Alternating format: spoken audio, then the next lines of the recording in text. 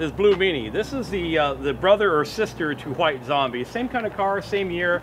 This is the more streetable version. Uh, this is my everyday driver. Uh, instead of direct drive, it's a transmission car. It's got a four-speed transmission, but it's still got quite a bit of spunk. And unlike the race car, we have batteries balancing here and there so that we have complete four-place seating instead of just a two-place. So it looks a little bit different under the hood. The workings of an electric car are pretty simple. Uh, where a gas car has a, a, gas tank full of fuel, we have a battery pack. This is part of the battery pack. The rest of it's in the back of the car. That's our fuel source. And instead of hoses and, and pipes for the fuel to run in, we have cables. And then we have the motor controller instead of like fuel injection that meters the electricity and finally to the electric motor itself.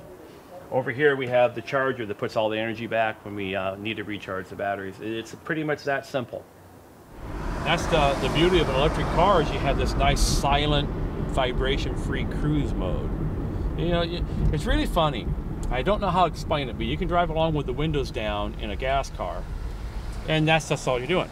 In an electric car, when you have the windows down, you hear the birds, you smell the breeze, you, you literally smell the roses. You, you, you're not distracted by all the vibration and problems that an internal combustion engine has that we've all kind of just gotten used to. I mean, you know, we're just kind of cruising down the road here, but what do you hear?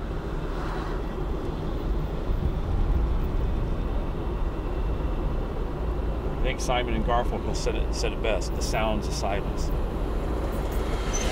And of course, we just got passed by another electric vehicle, the uh, electric light rail for Portland. So we're on uh, zero pollution row here.